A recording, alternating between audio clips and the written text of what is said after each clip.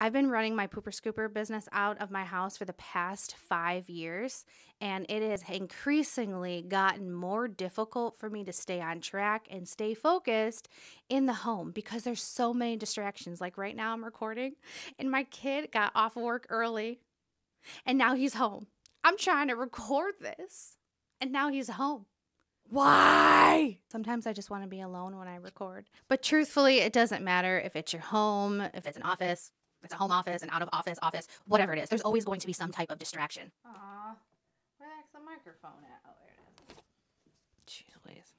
And this is why I've been using Jobber tasks to help keep me organized and keep me focused.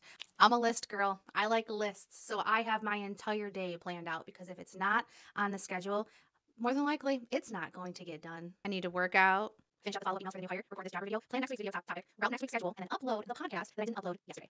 Post on social media in specific groups, myself groups that I'm allowed to post in on that day. Make sure to respond to comments, make sure to respond to emails, make sure they go into the messages. Oh yeah, and stop drinking coffee past noon. Just because I get distracted easily does not mean that I don't run a smooth business. Oh, it's smooth.